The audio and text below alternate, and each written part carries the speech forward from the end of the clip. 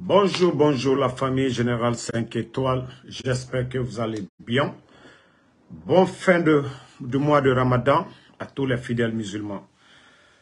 Voilà. Nous allons commencer ce direct par cette nouvelle. Mamadou Doumbouya, le putschiste, comme il avait fait le 8 mars dernier à Zérekoré quelqu'un qui se dit chef d'État, chef suprême des forces armées. Je vous avais dit la présence des militaires à l'abbé pour aller sécuriser l'abbé. Parce que le bandit Mamadi Doumbouya, qui sait qu'il n'est pas aimé dans l'armée, il n'est pas aimé aujourd'hui en Guinée, mais comme c'est du populisme, aujourd'hui,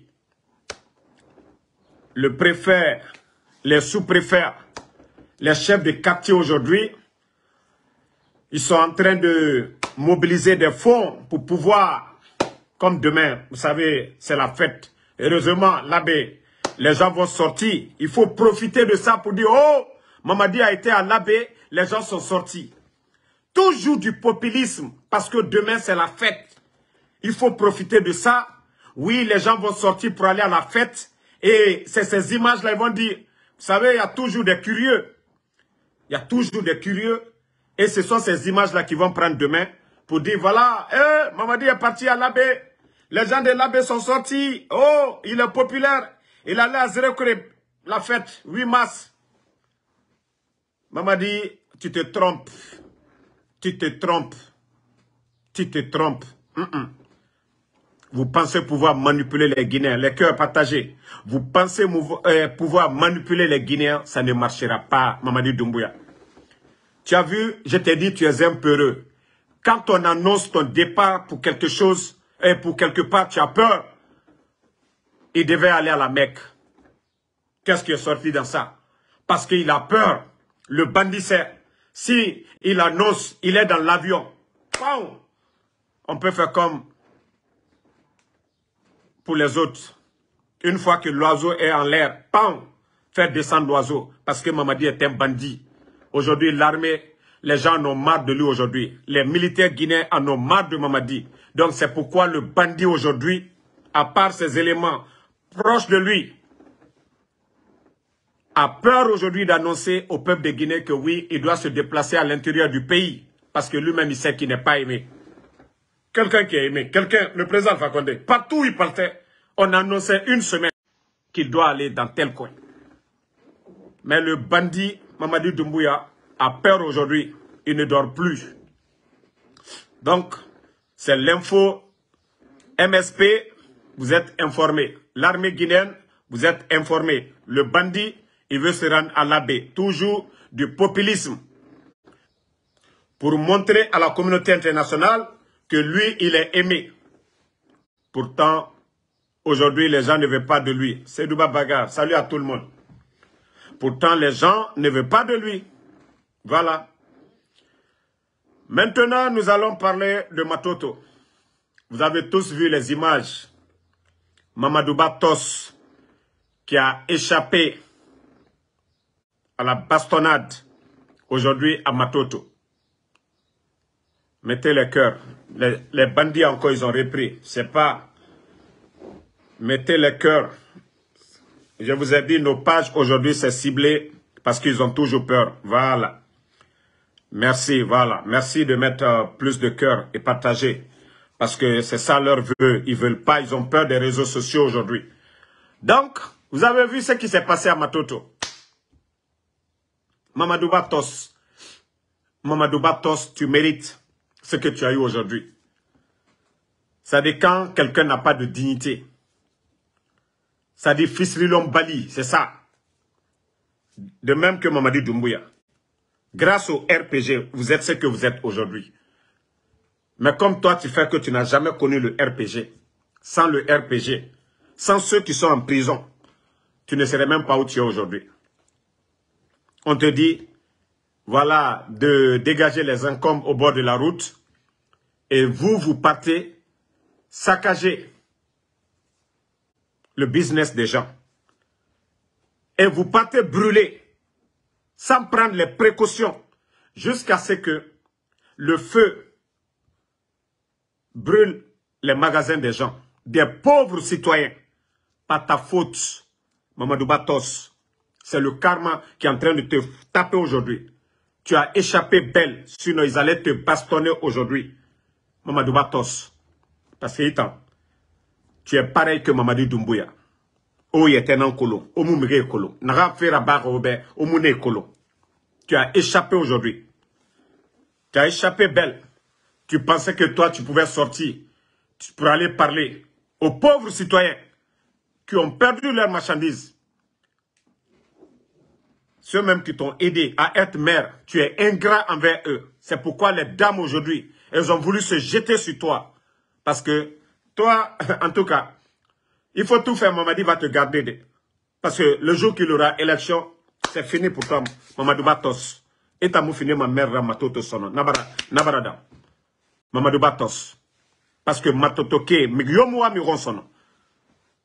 Il n'y a pas plus ingrat que toi. Moi, je respecte, hein. Regarde les maires de l'UFDG. Dans leur hypocrisie, ils n'ont pas de haine. Ils n'ont pas de haine envers leur parti. Vers l'UFDG. Mais toi, Mamadou Batos, même ne serait-ce que le siège du RPG, facture d'électricité, Mamadou Batos. Toi, Mamadou Batos, tu pouvais payer ça. Mais comme vous êtes tous des ingrats, tu es le maire actif de Matoto. Le siège est là-bas on parle que oui, facture d'électricité. Si toi, Mamadou Batos, là, tu étais vraiment quelqu'un de bien, Fissilom Balimira, c'est toi qui devais payer la facture d'électricité du siège du RPG. Ça n'a rien à voir avec montrer ton visage avec Dumbuya. Mais l'ingratitude, l'ingratitude, tu as vu aujourd'hui, comment tu as été chassé aujourd'hui. Toi qui es premier responsable de la commune. Premier responsable de la commune. Et Toi, il y a eu élection. Mais Mamadi, il n'y a pas eu élection. Vous mettez vos dignités à l'eau à cause de qui? D'un bandit qui n'est pas aimé? D'un bandit qui n'est pas aimé? Les gens sont en prison. Tu envoies quoi pour, ces gens-là? Nos responsables sont en prison. Mamadou Batos, tu fais quoi? Tu fais quoi pour ces gens-là? Il me sera pas.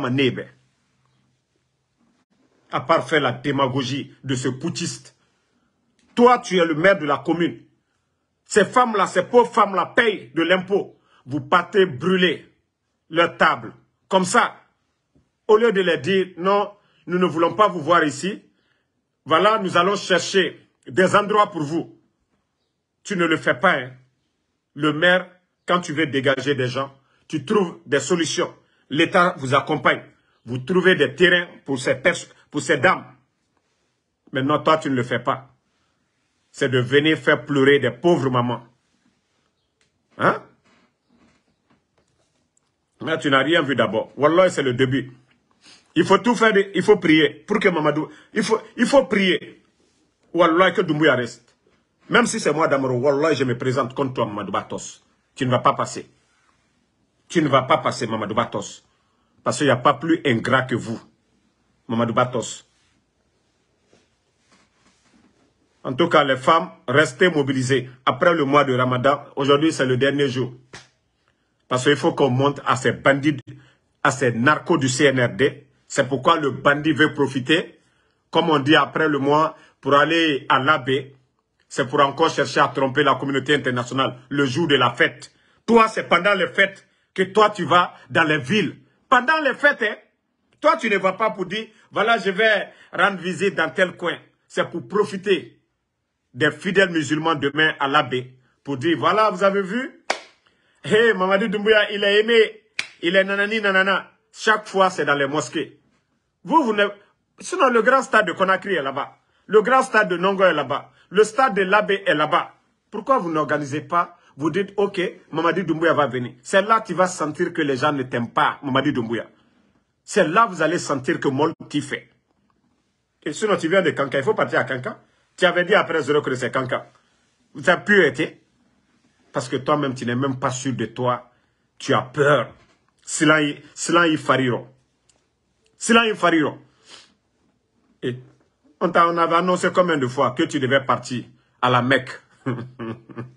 Moi, on vous avait dit, si c'est pas par surprise, quand on annonce, Wallah, il ne, il ne le fera pas. Parce qu'il sait. Le type a peur de rentrer dans l'avion.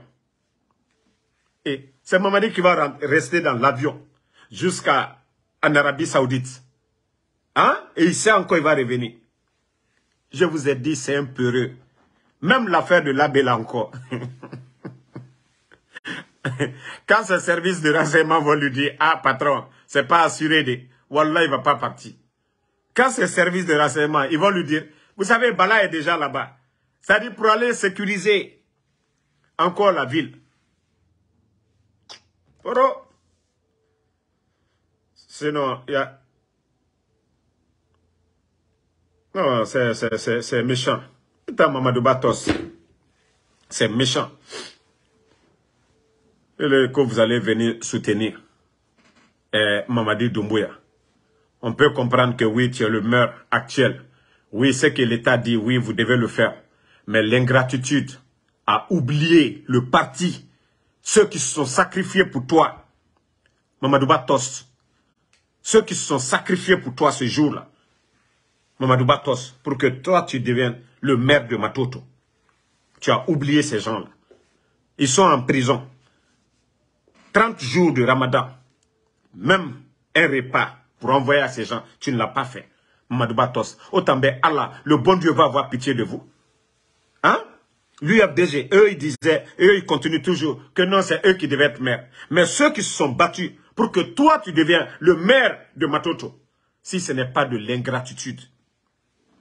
Même Ismaël, Ismaël même, qui était au, qui, un, un moment, il s'est rébellé il a demandé pardon officiellement au président Alpha même s'il est dans l'UFDG. Ismaël Condé, le maire de, de, de, Matam. Hein? Mais toi, l'ingrat, toi, l'ingrat, Mamadou Batos, il n'y a pas plus ingrat que toi, Mamadou Batos. Personne ne t'a dit de t'afficher avec le RPG. Mais il y a la manière d'être reconnaissant envers ceux qui t'ont aidé ceux qui t'ont aidé hier, Mamadou Batos.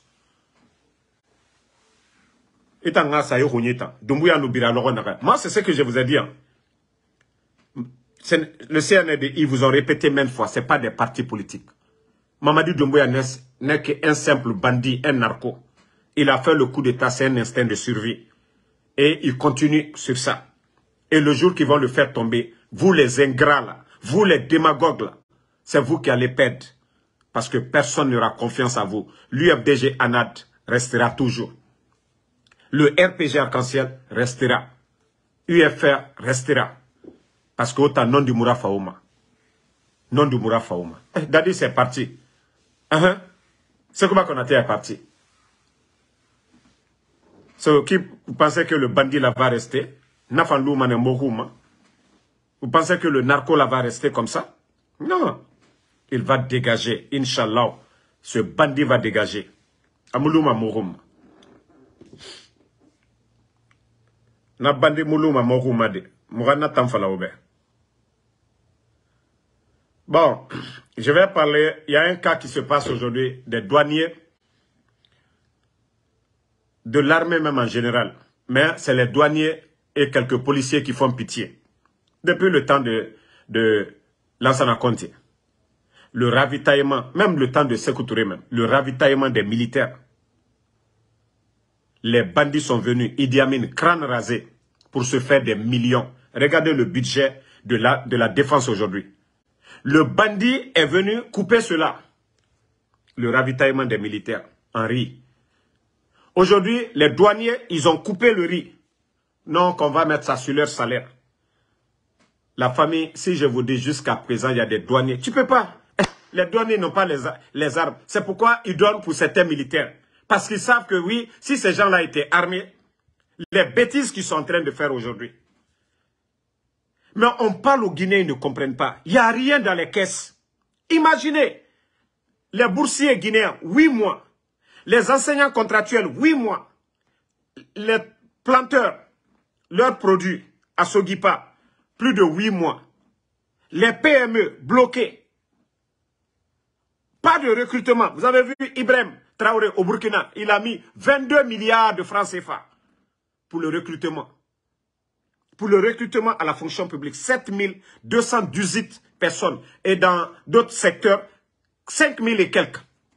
Presque 12 000. Mais chez lui, il n'a pas fait comme les bandits l'ont fait en Guinée, mettre des pères de famille, des Guinéens à la retraite, sans mesure d'accompagnement. Sans mesure d'accompagnement. Donc ces douaniers sont là aujourd'hui. Imaginez, tout est cher au temps de Doumbouya. Le, riz que les gens prenaient, tu as coupé ça. Le sac de riz est aujourd'hui à 300 et quelques. Le salaire des gens n'ont pas augmenté. Tu n'as pas pu augmenter le salaire des gens. La vie devient chère, le transport. Les douaniers vivent dans la misère. Le port de Conakry, il n'y a même plus de business. Eh, je vous dis, si vous saviez comment les, travailleurs guinéens souffrent, ne voyez pas les gens aller. Il avant, j'ai des amis, même commissaires, ça fait rire. Hein. Au temps du président Alpha Condé, eux, ils avaient des véhicules. Voilà, le, le commissaire Choco, le matin, il est bien habillé, il vient prendre son café chez Aruna. Voilà, en partant, et les petits des grands, grands, ils donnent. Mes amis la disent aujourd'hui qu'eux, ils sortent très tôt pour se cacher pour entrer dans Magbana, pour mettre bavette, pour aller en ville. Mais c'est incroyable. C'est-à-dire qu'ils sont venus bafouer la vie des Guinéens. Moi, 2020, mais j'étais tellement dépassé. Parce que c'est en 2014-15 que j'avais quitté Conakry. Et je suis reparti. Non, 2016 que j'avais quitté. Mais quand je suis reparti, 19-20, non, mais j'étais émerveillé. Wallahi.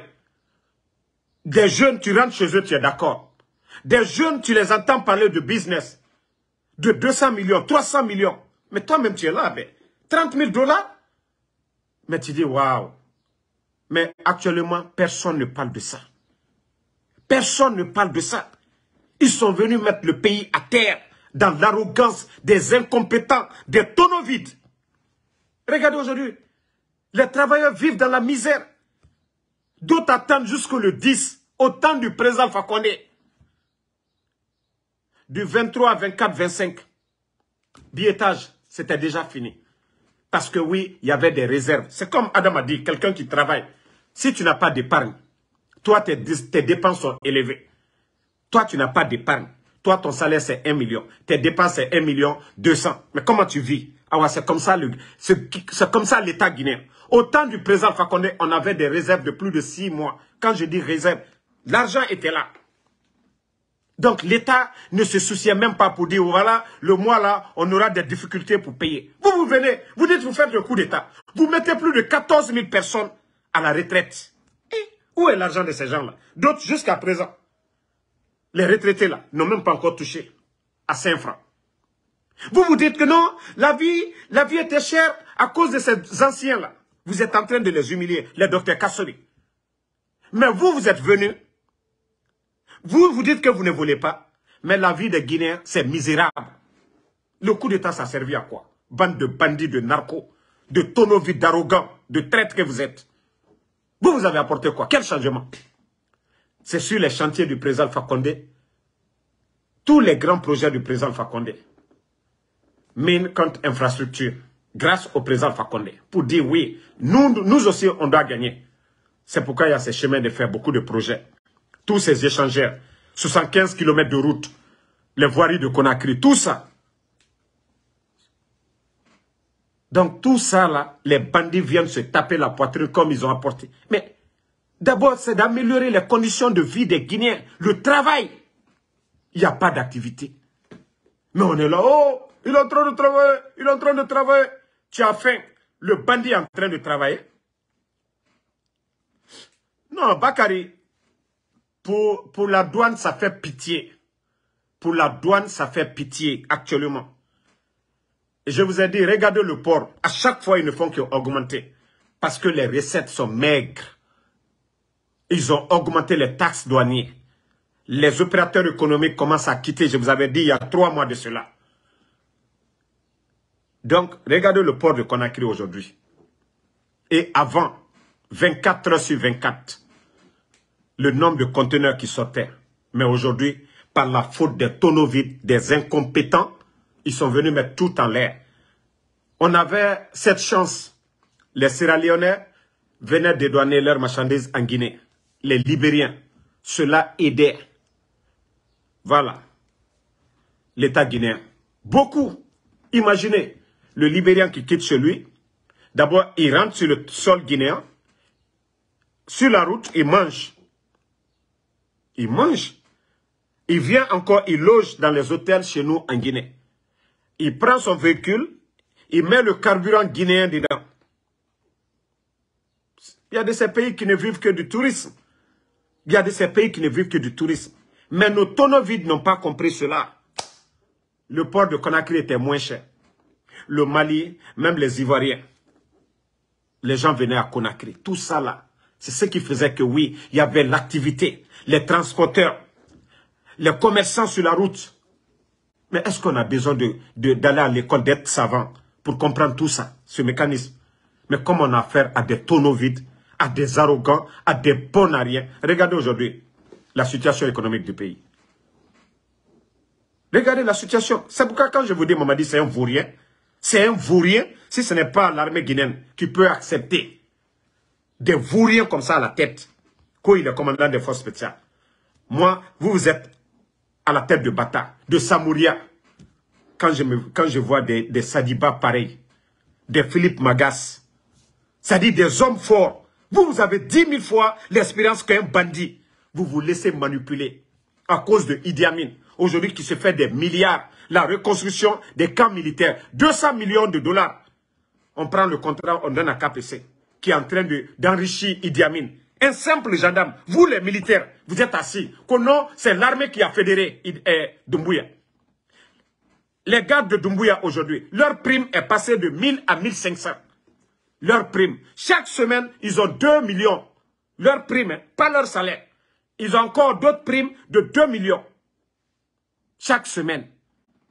Pour que oui, ceux-ci-là deviennent des escadrons de la mort pour Dumbuya. Vous, l'armée, vous êtes en train de crever de faim aujourd'hui.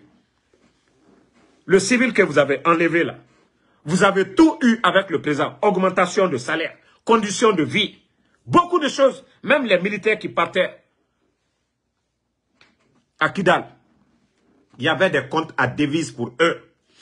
Tout le temps que tu fais là-bas, tu reviens, l'argent est sur ton compte en devises. Parce que c'est les Nations Unies qui payent. Mais aujourd'hui, Idi Amin fait ce qu'il veut de cet argent. Personne ne peut parler. Personne, les soldats qui vont à Kidal, au temps du président Alpha Condé, il y avait des comptes à devises pour eux. L'argent que la CDAO, eh, les Nations Unies donnaient, l'État guinéen se servait pour acheter les armements pour le pays. Maintenant, on remplaçait cet argent-là dans nos banques. C'était comme ça. Mais aujourd'hui, Idi Amin fait. Avant le coup d'État, il y avait plus de 200 millions, je dis bien, 200 millions de dollars. Ça, si le bandit là, Idi Amin, a parlé de la reconstruction des camps et ce projet s'élevait à 200 millions, c'était pour manger l'argent qui était déjà dans les caisses. Parce que l'État guinéen, je vous avais dit, ne touchait pas à cet argent. Idi Amin est venu, il a fait ce qu'il veut. Il est le ministre de la, de la Défense, il fait ce qu'il veut de cet argent. Parce que le bandit, le Mamadi Doumbouya, il ne sait rien de tout ce qui se passe. C'est incroyable. Wallah, c'est incroyable ce qui se passe dans notre pays. Vous n'avez pas vu quand il est venu acheter les tenues militaires. Pourtant, il y a l'usine en Guinée pour les militaires. Le président Fakonde avait donné ça. Au lieu de travailler sur ça, non. Il va acheter, regardez cette tenue-là. Quand vous regardez la tenue des Burkinabés, des Maliens, des Sénégalais, des Ivoiriens, et quand vous regardez cette tenue des bandits, ceux qui viennent imposer à l'armée guinéenne, à, la police, à la douane, à la gendarmerie. Regardez. Alors, alors comment on dit ça? Les, pains de funérailles. Avec ça, que ceux-là peuvent changer le pays. Crâne rasé, Idi Amin, Nyangbo, Nyangbo Lufa, Nakamedi, Anyamouya Gima. Il n'a même pas honte, ce vieux-là pas plus traite que Idi Amin. Toi, tu venais, fouille grâce au président Fakonde, il est devenu directeur de cabinet. Ils ont tout fait pour se traiter, pour ce malhonnête. Et c'est lui qui a, qui, a, qui a motivé son petit à trahir le président Alpha Condé. Ce, ce crâne rasé, Idi Amin. Hein? Regardez-le ici. On dirait un vrai villageois. Regardez-le. À, Beboni. Regardez-le. Hein? Regardez. Hein? Celui qui était le chef d'état-major de l'époque. Ils ont tout fait. Saboter l'avion de Kelefa Diallo. Saboter l'avion. Idi Amin, je dis, tu as saboté. Jusqu'à présent, tu n'as pas donné le rapport. Dieu seul sait ce que tu as fait. Parce que c'était ça ton vœu, de devenir le chef d'état-major. Et c'est que le président Fakonde n'a pas accepté. Et c'est là que tu as commencé tes complots contre le président Fakonde. Parce que vous saviez ce que vous avez fait de l'avion de Kelefa Diallo. Père à son âme. Et c'est là-bas, tu as commencé maintenant à préparer tout ton plan. Le faux coup d'État contre le domicile du président pour éliminer les De les Tcham, ainsi de suite. C'est comme ça qu'il a commencé. Ce malhonnête de, de Idi Amin, Mojouloufa, Nyangbo. Et après ça, vous avez vu ce qui s'est passé à Kindia. Monsieur Condé et son enfant, ainsi que les soldats qui étaient forts là-bas. Si M. Condé était vivant, le coup d'État, de la manière ils ont mis Sadiba à Kindia pour empêcher les militaires, les commandos de descendre sur Conakry, parce que c'est la récompense de Sadiba, aujourd'hui, chef d'état-major. Le fait qu'il a empêché les commandos là-bas de descendre. Tous ceux qui ont empêché les gens de sortir des camps, ils les ont tous nommés. Ils les ont tous nommés. Ceci faisait partie de leur plan. Toutes leurs réunions qu'ils faisaient à Kindia. Ah, c'est incroyable. Mais Almiri Alakono, que vous allez continuer à tromper le peuple de Guinée. Et tous les militaires qui étaient fidèles au président Fakonde, ils ont monté des faux complots contre ces militaires pour les créer des problèmes, pour les éloigner du président Fakonde. Je vous ai dit, le mensonge, c'est juste un temps. Mais aujourd'hui, l'armée, tout le monde a compris. Si vous voyez que le bandit aujourd'hui, il a peur, Mamadi Doumbouya a peur d'annoncer pour sortir. Parce qu'il sait que oui, l'armée n'est pas dans l'esprit de ces bandits-là. L'armée guinéenne, non. Les gens sont dans le regret de la manière que le peuple, même ceux qui ont dansé le 5 septembre, pensant que oui, c'est un changement, le président Alpha Condé est tombé. Aujourd'hui, c'est pareil dans l'esprit des militaires. Parce que tout le monde est fatigué de ces menteurs-là. Ils ont trompé les gens. Regardez. Regardez Mamadi ici. Ce coup d'État n'est rien d'autre qu'une trahison des malhonnêtes. Manka Kadri Nyangbolou. Manka Kadri Nyangbolou. Wallah, si le président Fakonde avait un peu le chef d'état-major, il n'allait jamais le trahir.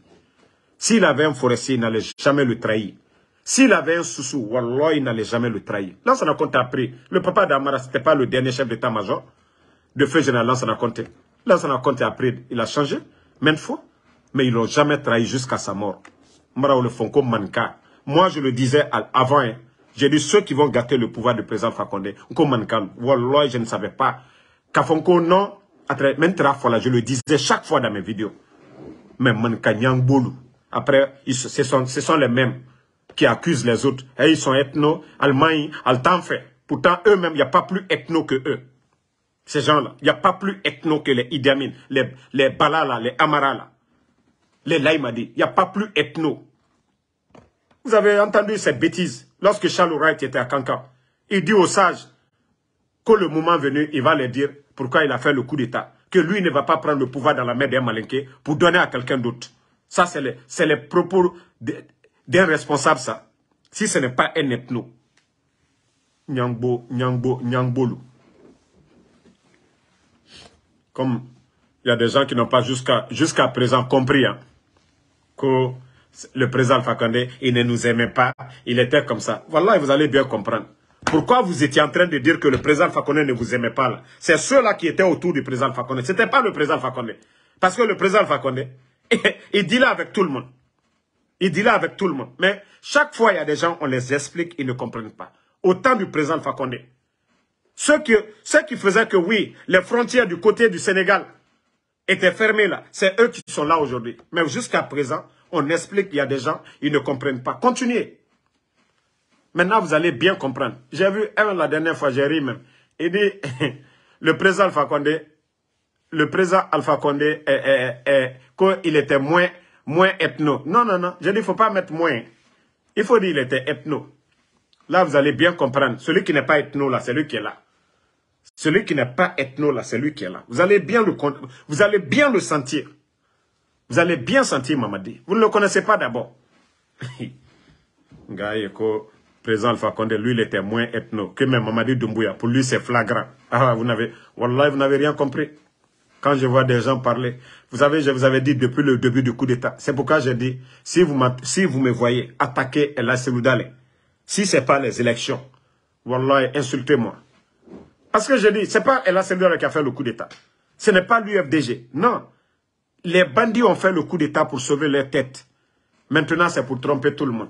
Ils ont fait un discours le 5 septembre. Oh, les gens ont applaudi. Il y a d'autres même qui ont dit non, non, non, non. Voici le sauveur, c'est rentré. Ils ont traité le président Condé de tous les mots. Mais on a oublié tous les mots là aujourd'hui. Les gens ont oublié tous ces mots-là aujourd'hui.